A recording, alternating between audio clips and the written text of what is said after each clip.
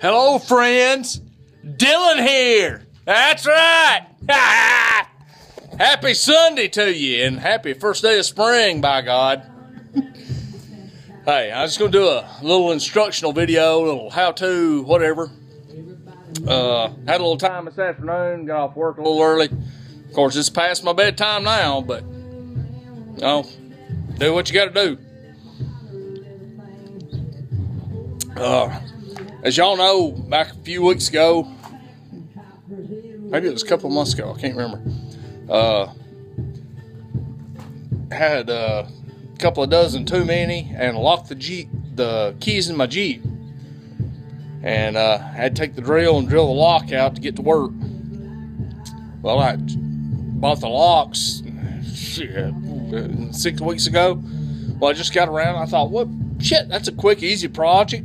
It's cold and nasty out. It may rain, it may not. It's off and on. You know, I can't go out and cut devil trees drinking beer and it wet. Hell, I'm able to get hurt for crying out loud. So I thought, shit, I'll I'll put them new door locks in. Huh. I don't know what uh, the book calls for. Probably seven, eight hundred dollars. Who knows? So I thought, shit. I've replaced them. You don't know how many Chevrolet trucks I've had. I've replaced a bunch. I thought, shit, 15 minutes? Nothing to it. Check this out. I got one in. You lock. Not locks. Lock. Lock. Set my beer down. Stay. Let me turn this shit down. Hang on. I found out when I took the door panel off, I had Fosgate speakers in this bitch. No damn wonder it sounds good.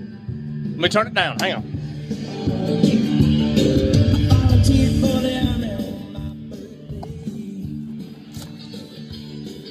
Got it all back together. Took two screwdrivers, some vice grips, two CDs, a monster,